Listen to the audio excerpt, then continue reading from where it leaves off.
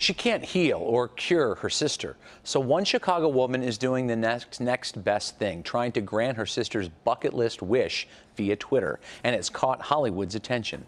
Here's CBS 2's Dana Kozlov with this original report. Long before Melissa Bradley was diagnosed with stage 3 uterine cancer, she made a bucket list.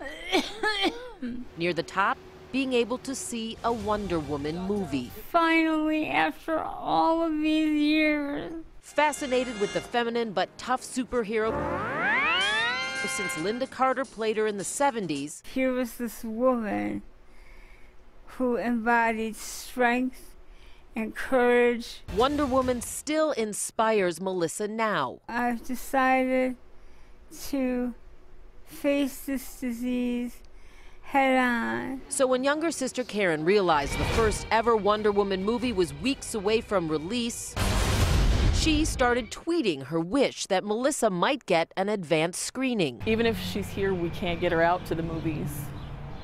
So why not try? Her tweets caught the attention of folks with connections, and then the film's director, Patty Jenkins, tweeting back, she's working on it. I would imagine it would make you very happy.